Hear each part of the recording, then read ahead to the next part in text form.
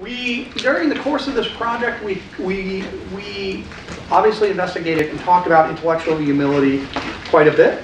We also found in investigating intellectual humility, this came up in all sorts of talks, various other ideas and ideas of importance came to the forefront. One of those ideas, for example, is in the very uh, uh, title of the project, and that is conviction. Professor Anke Finger, who's professor of German studies, media studies, and comparative literary and cultural studies here at UConn, and also uh, has been uh, directing from the Humanities Institute our Digital Humanities and Media Studies Initiative, and many other things, has been part of the project in all sorts of ways. Uh, Professor Finger uh, quickly from the outset of the project said, look, there's a lot of work going on on this. We need some work going on on what conviction is. What is it and uh, uh, how does it work? So um, she's going to be talking about conviction as a cultural concept. And then uh, also, uh, right after Professor Finger talks, we're going to have talk two which is coming to us from Greenhouse Studios, which is our, our next door neighbors in this building downstairs and a partner uh, from the beginning in uh, this project. Tom Scheinfeldt, who uh, is the director of Greenhouse Studios, uh, uh, is right there at the end. And Tom and Brendan and I actually were involved early on in helping support each other's projects. Uh, both projects in digital scholarship that, that we'll hear about, but also um, uh, you know, him supporting, as we'll find out, by interacting with our researchers, uh, our project as well. And so one way of thinking about this is that concepts of both conviction that were, yes, in the, in the, in the title, but were perhaps being understudied in the project, rising to the forefront and taking us to the next step. And also a process and way of engaging with scholarship that has emerged out of the project thanks to our partnership with Greenhouse that is also hopefully taking us and our ideas of the project in a new direction and then taking it further next step. So uh, for talk two, we'll have Wes Hamrick, uh, who's a Mellon Fellow from Greenhouse Studio, Studios, uh, uh funded by the Mellon Foundation, Alessandra Tanesini, who we've all met before, Brooke Foti, uh, I'm sorry if I'm butchering your name, Gemmell, uh, who is a design technologist from Greenhouse Studios, and Tom Lee, who is also a design technologist from Greenhouse Studios. And they'll be talking about Husky Review, building an augmented reality app. And with that, I'll stop talking and sit down. Okay, Anke. Okay, thank you, Michael. Um, thank you all for still being here. I know it's Friday afternoon, and I'm sure you'd rather have a glass of wine in your hand or some beer. So um, I'll make it brief. Uh, first of all, I want to thank Michael in particular for supporting the Conviction Project. Um, has been a hiccup, which I'll quickly talk about, um, but we're still here and we're actually growing. Um, thank you to Brendan, um, and thank you to Templeton, and of course to UConn for making this very exciting and uh, ongoing. This is actually um, what I'm giving you a little bit the origin story of the Conviction Project, and there's more work to come. Um, on Wednesday, those of you who actually attended the event um, at the hall in Hartford, I don't know if you recall the moment when Carrie, Kelly Corrigan was talking about her own convictions, um, sort of leading into having um, W. Kamau Bell talk about that.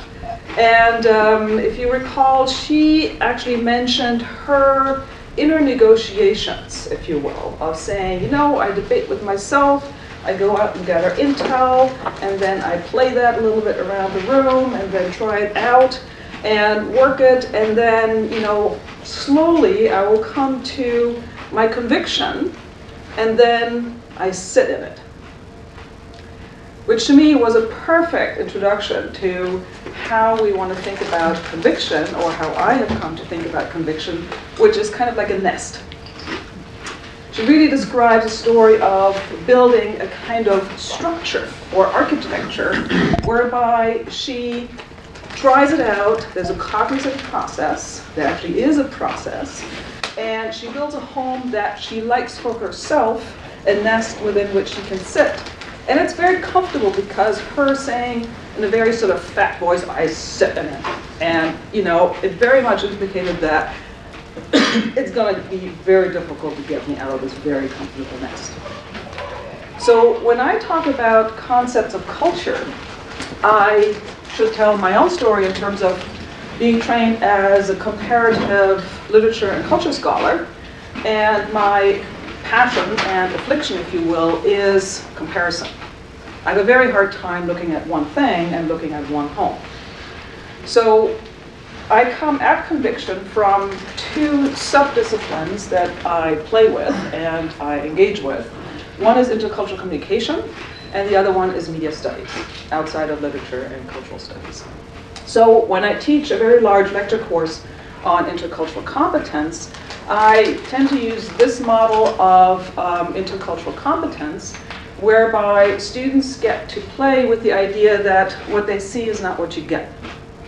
Meaning that the iceberg model of intercultural communication is cognizant of the fact that the expressions of cultures or the product of cultures is what you get above the waterline, the tip of the iceberg. So when we look at fine arts, when we look at literature, when we look at drama, it doesn't have to be high culture. When you look at, I don't know, video games, when you look at TV, when you look at anything that is an actual product of a culture, this is the end result, if you will, of value systems that lie underneath. And once you look underneath this particular iceberg um, waterline, you get a whole lot of wobblinesses, meaning notions about logic and validity, patterns of visual perception, um, patterns of handling emotion, cosmologies, tempo of work, notions of leadership. So all of these kinds of patterns and beliefs of how you should conduct yourself, of what in cultural hermeneutics we call shared structures of meaning, those are out of view. When we go into a different group, and I tend to define cultures as not, you know, defined by national borders, but really by networks or groups that are defined as such, that think of themselves as cultures and behave like cultures, all of what's underneath this iceberg um, top is something you don't get if you're foreign to it. So when we think about values in intercultural communication, there also is um, a set of different um, definitions and, and models with which you can engage. I'm using Shalom Schwartz's um, value dimensions. What I want to point you to as you read is that values are guiding principles because they are shared values, they're shared entities of meaning. They're infused with feeling. Um, we've started to talk about emotions, and what we've talked about This is affect, but I want to cannot possibly overemphasize the element of emotion. They motivate action.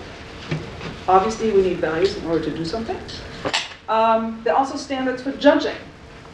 And most importantly, just as the iceberg um, bottom is under, is, is outside of awareness, it is rarely conscious. So we're aware of a relative importance of values that shapes the behavior, but at the same time, we often perform these kinds of values out of um, some sort of machine type um, habit. We know it. We know the codes without having to define them. And we simply do what's right.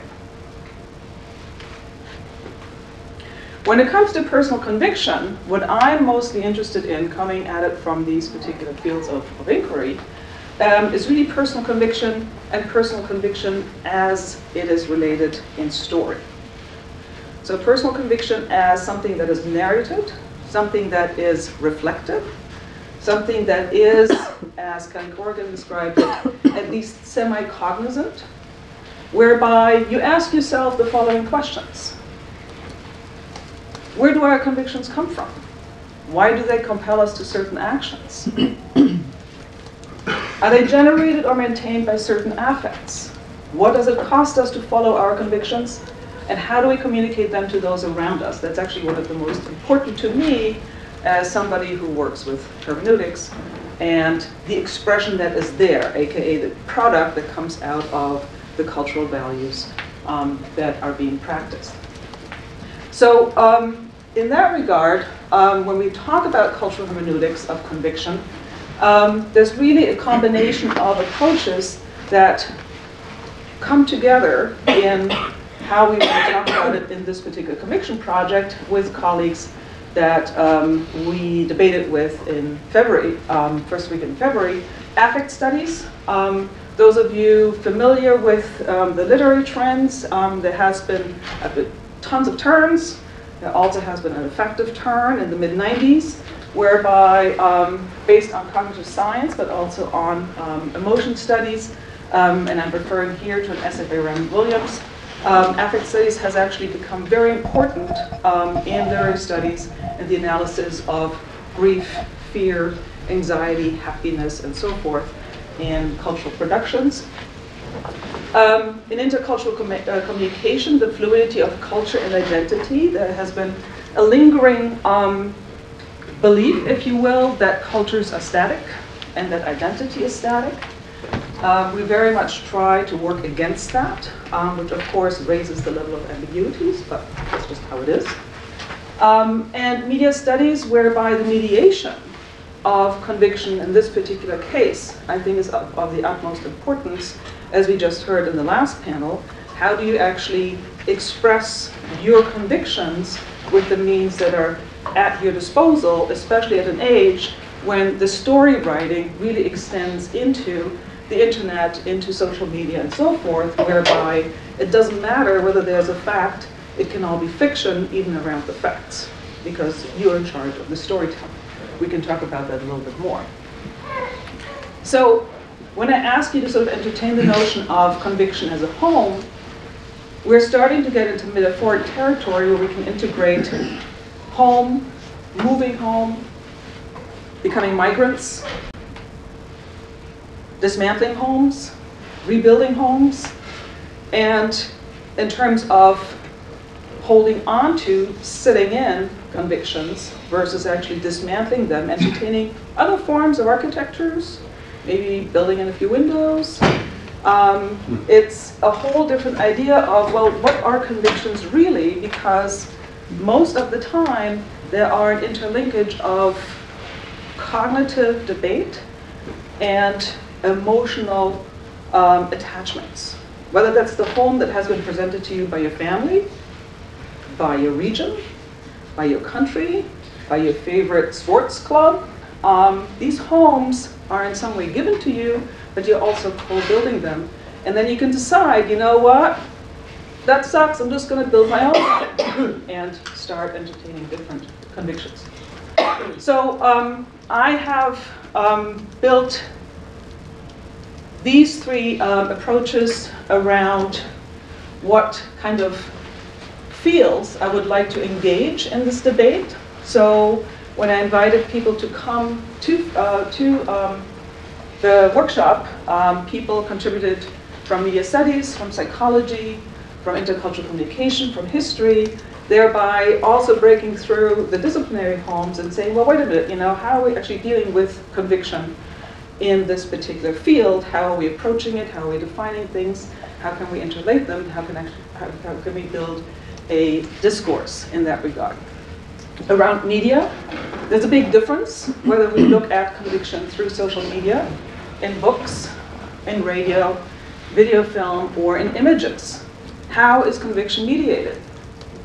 How are we trying to understand it within an algorithmic universe, or in fact, the deep fakes um, that Regina Rini just talked about on Bob's podcast, where in fact, they ain't no truth anywhere, because there's no origin anymore. You know, we can in fact go back to Baudrillard and say, you know what, it's all a copy now, and uh, you know that's a real issue. And of course, um, talking about narratives, what kind of genres do we want to look at? And in fact, we want to just pin it down to a print or narrative kind of um, expression. I particularly am interested in manifestos. Manifestos as a genre of the utmost conviction you can put in any kind of printed form. Um, and there are those that are older than the Communist Manifesto, but I think we can all agree that the Communist Manifesto is one of great conviction and with tremendous historical result. so um, I've built this uh, conviction project around a number of media elements. Um, there's an introductory video. Um, the beginning was um, in my attempt to really get personal narratives um, into the open. I interviewed um, the former um, director of the NEH, um, William Bro Adams, who talked about conviction very much out of his childhood, but also out of his experience of the Vietnam War. I talked to Anna Gramberg, who was a longtime dean at Auburn University and is a gender performing um, gay activist who founded the first Women's Leadership Institute at Auburn. Um, a fascinating discussion. And Michael Byram, who's part of this project about his work for the European Commission on intercultural citizenship. and the conviction workshop um, introduced Christiane Heibach, Media Studies, Pianalto. You can read the titles of their conversations and presentations. Introduced them to each other where we had a very fruitful debate, simply engaging in sort of breaking through our own homes of how we want to think about conviction. The podcast will be available on Tuesday, so I encourage you all to listen to that. And the next step, if you will, is uh, Subjective Matters. This is going to be the um, book that Manuela and I are editing. She is my partner in crime when it comes to intercultural competence. Um, and uh, we will invite a number of people in addition to who has been uh, at the workshop. And I hope very much that the next step after that will be that I can also introduce the storytelling of your own convictions into the intercultural competence lecture that I teach on a regular basis. Because the hardest thing that I encountered is to actually engage with your own convictions and actually find a narrative for it. Students had a very hard time with that in the classroom uh, because it is a U-turn, you know, an intercultural term for reflecting on yourself. And a U-turn is very, very difficult if you don't have anything to reflect it off of. I will leave it there. I'm very open to questions. Thank you very much.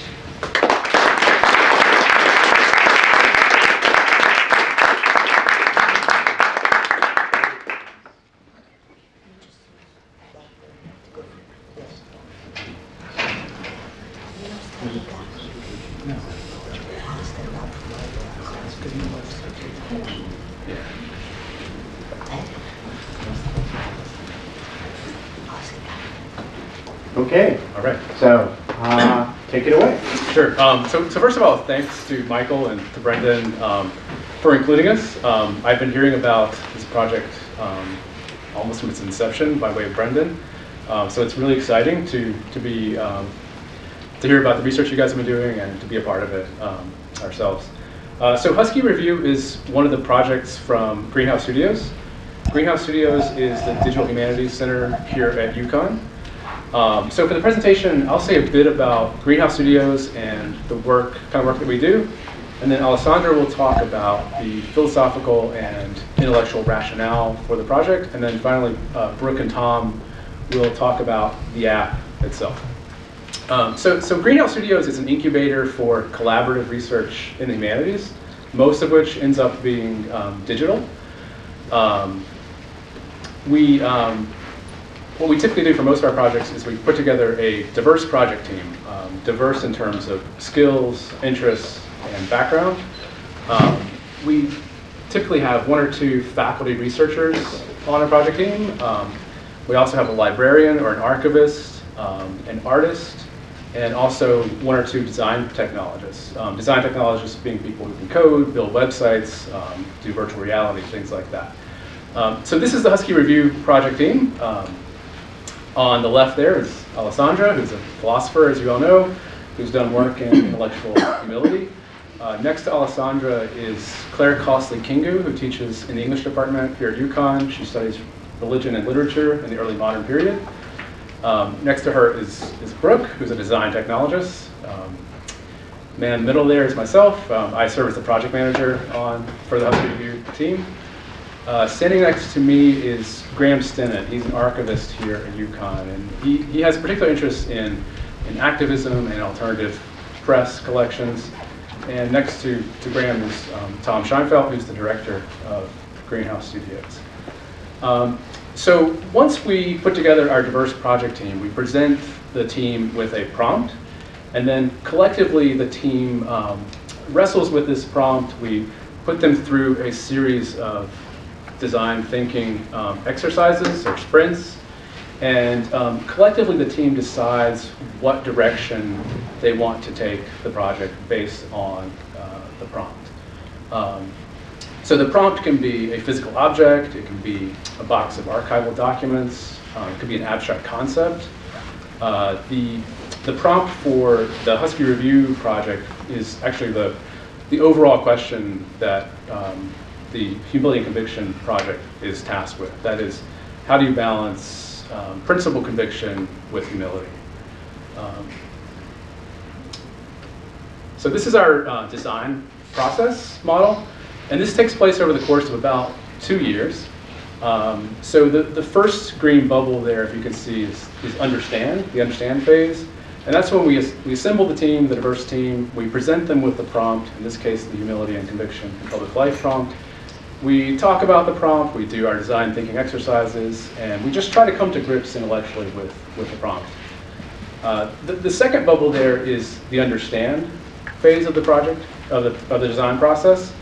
Um, uh, I'm sorry, the identify stage, excuse me. So the identify stage is where uh, the team ultimately decides what direction they want to take the project, what kind of format the project is going to take. Um, and so for, for the Husky review team, we were really interested in intervening in the physical landscape and representing uh, certain forgotten history related to student activism and protests on the UConn campus. Um, however, we were somewhat limited in our skills. Um, we, we, we knew about um, augmented reality. We knew we wanted to do that, but we really didn't have the skills to do it ourselves.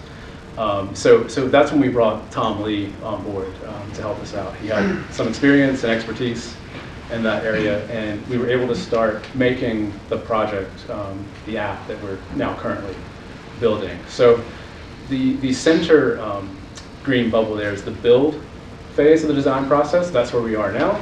Um, we should be wrapping up sometime this summer. And the next two phases are the review and disseminate phase of the design process. So the review phase, we test things out, we reflect on what we've done, make revisions if we feel those are necessary, and then finally the disseminate uh, phase of the design process. That's where we publish and publicize the app and We'll also publish any other research, like journal articles, that may have come out of our work on the project. Um, so, so that's a bit about Greenhouse Studios and what we do. Um, I'll now turn things over to Alessandra. Going to see she can. No, that's back. It's going backward both ways. Oh, here we are. So, this was the thought. Um, I hope I'm making, I'm still making sense because I'm quite jet lagged. so this was the thought. Uh, the thought was that it's not uh, wholly up to us in many ways whether we develop arrogant or humble tendencies, but the environment in which we grow in makes a big difference. And one of the things that might encourage somebody to develop arrogant tendencies is living in a society that has a shared identity of, say, exceptionalism, right? You know, of, uh, or in the British case, you know, of sort of a sense of superiority of some sort, right? if, if you're if you grow up in a, a, in a society where the sense of national identity, at least for the people who sort of came closely associated with, with what is normal in that nation. I mean, in Britain is interesting, I think, because there is no place for black people in British social identity in a way that they are not problematic. Paul Gilroy has written this in his famous book, There, there Ain't No Black in the Union Jack, right? Uh, pointing out that black people are always crime related, right? They're either the victim of crimes or the perpetrator of crime. But if you think of what it is to be British, there is no positive role there for black people. No, that's not perhaps in the case in the States, but anyway, the States has a shared social identity of exceptionalism, right? The land of, what is it, the brain? Freedom and opportunity. right? so, so the thought there is, is that shared national identity might make a difference as to whether you're more prone to develop a feeling of superiority, and if I'm right, then arrogance is somewhat connected to this. And of course, one of the ways in which we build uh, this shared national identity is through man- monuments, through memory, and one of the ways in which we produce memories, shared memories, through monuments. I just love the title, Monumental Arrogance. um, so this not right. So there's been all this debate about you know very Confederate statues in the states. Uh, you know other examples in the UK. And the argument has always been you have to keep those statues there because otherwise you are eroding, eroding the past, right? They are there because that's history, we need to know our history. That is just a category error. Monuments are not there to remind people of history, or not purely. If they were, they would be in, in museums, right? That's what museums are for. They remind people of various things. They are artifacts, right there. Monument, we don't have statues to Hitler, right? No one says we really ought to have a statue to Hitler, otherwise we forget Nazism. right? We don't have statues, and Michael makes that point also in his forthcoming book, right? So clearly monuments play a different role. And the role is they put forward something as noteworthy, admirable, worthy of emulation, and usually agentic. Usually is agents rather than victims. Uh, and that I think is very interesting in war monuments, where even in war monuments, there's always heroic soldiers rather than destroyed soldiers, right? We never celebrate the pain of war. There are exceptions, your Vietnam War Memorial, right? Um, and so what you are doing with monuments is building a sense of what it is to be a notable, admirable, good example of your nation, because usually what you have monuments to is your own past. Right? And so they are a way of building a sense of what's not noteworthy in your nation. Right? And and monuments are built by the victors. And they tend to build a certain shared memories. They are often fictional, almost always somewhat selective and mythical.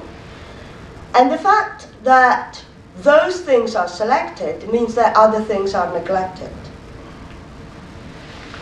Think more strongly, and there is somewhat speculative evidence on this, the fact that some things are selected means that other semantically related bits of information are repressed. So the thought here is that if you remember that event, but only remember it selectively, other aspects of that event become even more inaccessible. As opposed to events you don't even talk about. And so the idea is that through this selection process, our way of building monuments builds shared memories, shared memories that are the memories of the victors, and, and neglect the story of the oppressed, but don't just neglect it, actually prevent people from being able to remember it. Hence, the thought that one of the way of promoting a different sense of social identity is by changing the monumental structure around us. Since we haven't got the dosh to actually do it physically, one way you can do it is by augmenting the reality. So bringing out those aspects that have been neglected by allowing through an app people to visit the site and see those things that are not normally remembered with the view to promote a different understanding of the place and hopefully a different understanding of what it is to share a certain identity. And the identity we looked at is UConn, and I really Yeah, so um, the Husky Review app uh, basically takes um, material from the archives about, um, from the Human Rights Collection, specifically dealing with activism and protest incidents on campus. And what we're doing is we're basically uh, embedding those in the environment of UConn and allowing people to sort of explore these virtual exhibits. Um, Basically, the way that it works is that you can pull, if you didn't get to try it, um, you pull up the map and see different events, uh, and you can place the exhibits um, in the space while you're walking around UConn campus. Um, So I think we have one example of a event here. Yes, so it just happens that the, everything after this is in Wilbur Cross, which happens to be one of our sites. So we thought we'd give you a little window into that site now. Um, I feel like we're skipping slides. There we go. Thank you. That's the building that we'll be going to in a minute. Yes. So, um, back in the seventies, that was the main library on campus. Now it's just an administration building where students go to pay their fee bill and get out as fast as they can. Um, so, about, in nineteen seventy-four, about two hundred students, a couple of days after marching to Gulley Hall, which is, um, where the president is, um, they, president's office, they had given a list of their demands. And a few days later, they staged a sit-in in, um, the Wilbur Cross Library. Um, around midnight, when the library closed, um, then they started making, well, they were very quiet, but people were unhappy with it. By the time 6 a.m. rolled around, students were being forcibly dragged out. Now you would know nothing about this now. Um, but this is pretty well documented, so when you pull up the experience in the space, or wherever you are, um, these are basically the items that you'll see. To the left um, is this little floating microphone that will give you an audio recording of um, an interview with the head of the library at the time, Norman Stevens. Um, to the left of, or to the right of that is um, a photograph, one of very, very many um, that are from that day.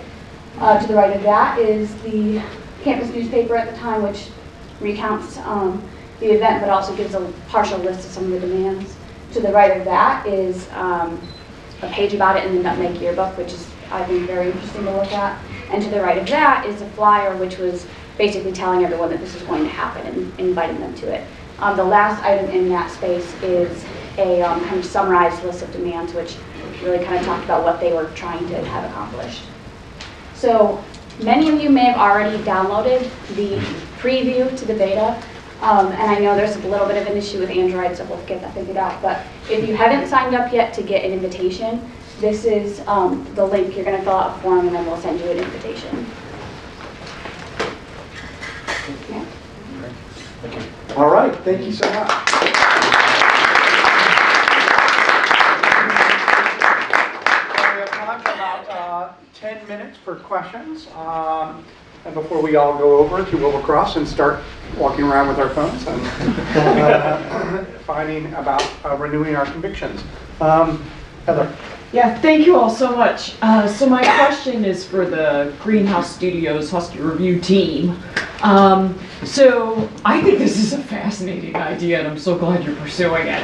Um, one thought I had, if you just if you were thinking about expanding this is in the future, have you thought about doing anything having to do with the Depot campus?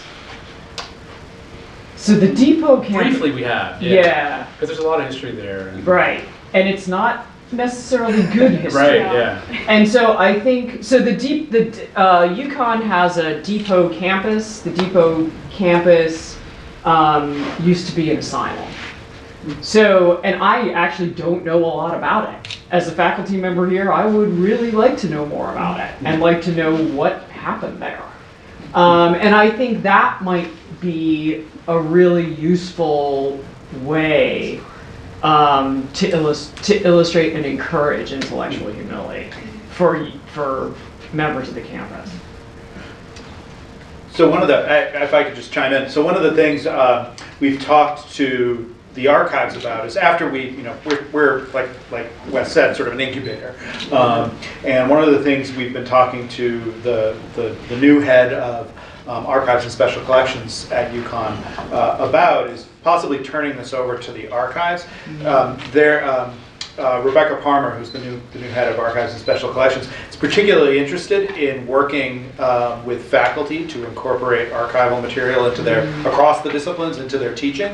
Um, And one thing we've talked about is taking this as a vehicle for doing that, where class projects could do some research on the Depot campus, put it into the app, and then make it available later on for, for, for classes down the road. Um, So Tom and Brooke and, and the rest of the team have built this in a way that it is extensible. So there could be, so right now, this is, we have, a- we have these stories of protest. But we could have another layer, you could have another layer, which is, you know, the Depot campus layer, or, you know, stories of asylum, or, or whatever, whatever it might be. Louise? Um, so the app kind of seems like Pokemon Go for information around campus. But the problem is, not everybody wants to play Pokemon Go. And I suspect in this case, the kinds of people who aren't going to want to play are precisely the people who need to be learning that information. Um, and so I'm wondering if you've thought about um, strategies to try to encourage people who would be the least likely to use the app about how to get them involved in actually wanting to use it. Yeah, that's, that, that is one thing we've thought about, and like, one of the like ex- extensions or like separate packages we've thought of doing is um, like a sports package. So like Yeah. UConn has a long history of, you know, sports teams. And, um, you know, we, we thought maybe even the, the technology could be useful or, you know, um, like the sports teams, uh, at UConn might be interested. So if you have people interested in like, you know, the sports teams and then like all these other packages are like available for, you know, download or Yeah. whatever, um, you know, people might select, oh, campus protest, I might select that. So that's Yeah. one kind of mundane way that we've thought That's about really addressing cool that. idea. yeah. Brendan? You know what, actually, uh, I'll, I'll ask later. I know we're short You're on time. Um, yeah, Anke, um, at the end of your presentation, you talked about the difficulty of um, getting students to talk about their own personal narratives. And personal narrative is something that we really utilize in our dialogue. Um, and so sometimes that works well and sometimes it doesn't. But I know I've certainly encountered that challenge. You know, one time I asked students, we were having um, a dialogue about abortion, and I really, we emphasized, you know, tell a personal story of how you came to something that brought you to experience and understand your values behind abortion. And so I was facilitating from up front. I had three groups. Two groups were going okay. I just came to the third one. Students were going around saying, I'm pro-life, I'm pro-choice, I'm pro, and I was just like, Yeah. um, so if you have any, what, what tips can you offer or insights to help students understand what a narrative is and why their own might be important in a classroom? That's a great question. Um, I've, I've gotten to it um, by using different media. And it's also part of the reason why I wanted to um, record these personal narratives and talking about what is conviction, what is conviction to you, do you have recommendations about conviction, blah, blah, blah, with people who are in the public eye. Um, and I would have produced about five to seven of them. Unfortunately, I, you know, played tennis with conviction and tore my Achilles tendon, so that was, you know, the end of that. um, but in a way, in that particular large course, um, I play um, Adichie's this, uh, The Dangers of a Single Story. So that's sort of their intro to um, talking about your own story to begin with, making it very personal, uh, making it fun, but also making it controversial. Um, I have um, groups of four or five, the class is 100, groups of four or five actually get into digital storytelling with very specific guidance as to what is digital storytelling and then who do you need, you know, who tells the story, who writes the story, who edits the story, who provides the visuals. And what's interesting to me is that it's actually easier for them to mediate their own story rather than just sit there and tell it. Um, you know, they can pick pictures from family, they can pick pictures from, you know, whatever experience they want to relate. I had one incredible story from um, the child of Bosnian refugees who talked about mass murder. And she packed that into a digital story, showed it in front of the entire class, and it was extremely difficult for them to talk about that. But she thanked me afterwards. She's like, I've never told this story. Huh, wow. Um, and so by showing them mm-hmm. how people tell their own mm-hmm. stories, and by then try having them try that out through a mediation process without having to expose themselves in a mm-hmm. class of hundred, of a hundred, um, and then maybe starting out with these narratives, with these conversations with people in the public eye. You know, they're much older than they are, of course, but it's like, okay, now we're going to talk about conviction. Because conviction is something that's, you know, at least at that age group, very, very, very private because it's so very, very, very ambiguous. You know, what do I think? Why do I think that? And why do I believe what I believe? I mean, actually, around Thanksgiving, it's a fall class, um, and I talk a lot about culture as home and home as culture. Um, so tell me what it is you're doing in, at Thanksgiving, and you know how that how does that make you your particular culture of family or your particular family culture? Um, and we had sometimes very frank conversations about, well, wait a minute, why do we actually do that? Um, so this kind of self-reflective process of um, beginning to question the habituations that they've fallen into, the sort of the cultural imprint that they're living with without actually knowing it's a cultural imprint. That's sort of the very, you know, multi-pronged approach that I now want to extend by also talking about conviction. You know, what do you believe and why do you do that? Yeah, that's really helpful, thank you. Okay, well, I'm afraid we are out of time, and, but we are not done with the conference because we still have a reception, and we have a reception in a place that we'll be able to learn about its history, at least the things that happened there, thanks to the work of uh, our people up here, and learn about perhaps how to question our convictions as well, uh, about the history of UConn. Uh, Join me in thanking the